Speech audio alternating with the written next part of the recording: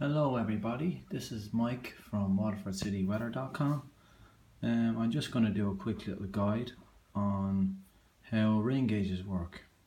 Um, it's a fairly common question that people ask from time to time and people say, oh, how do you measure rain? How does the rain gauge work? So I said I'd just do a quick little guide on how how it actually works. Um, actually my rain gauge is a Rainwise uh, one wire rain gauge tipping bucket um, and I've had it for maybe about three years now.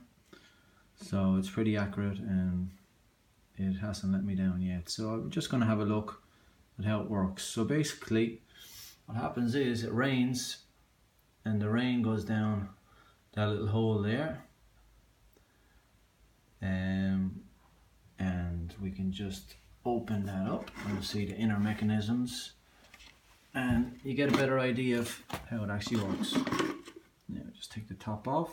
We'll look in here and you can actually see there's the tipping bucket on the inside. So what happens is it rains, the water gathers here, okay, it gets to a certain level which is normally 0.25 millimeters. So when 0.25 millimeters falls in here, the bucket tips, okay, and that registers one count, okay. So then the next side fills up with water and when that hits 0.25 millimeters the bucket will tip again.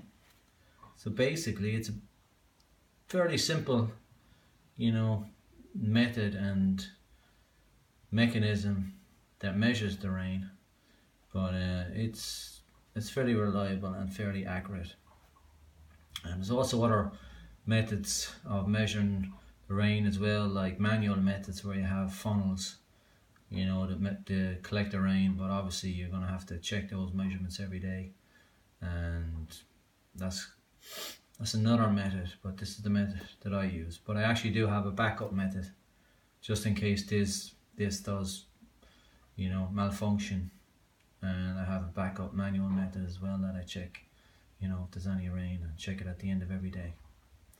So there you go again, 0.25 millimeters in there, tips, and another 0.25 millimeters and tips again. So fairly straightforward.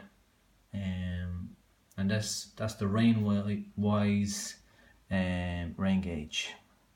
So thanks for watching everybody. Bye.